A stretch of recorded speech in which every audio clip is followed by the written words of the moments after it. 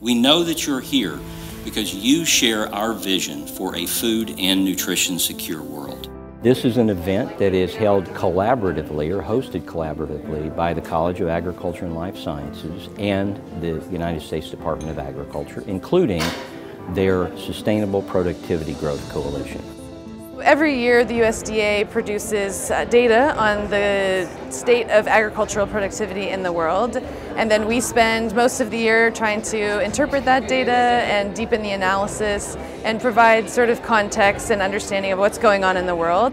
When the GAP report was established in 2010, the GAP Index was created to track changes in TFP growth and to illustrate the future growth necessary, holding inputs constant, to sustainably fulfill global needs for agricultural products by 2050.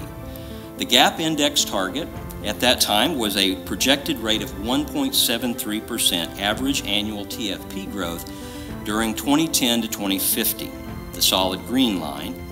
However, at only 1.14% annually, the global average TFP growth during 2011 to 2021, the orange line, fell well below the 1.73% annual target. Unfortunately, we are falling well below that, uh, that rate, and so we have a huge gap that we need to fill.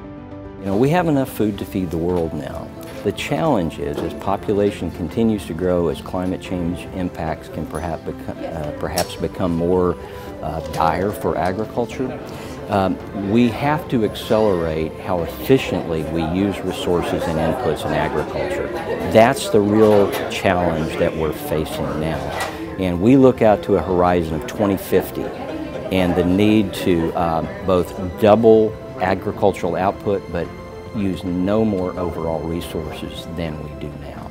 So I would say the tools that we need are sustainable agriculture tools like conservation agriculture, no-till equipment, um, improved seed varieties, which can uh, make sure that farmers are more resilient to some of the impacts of climate change.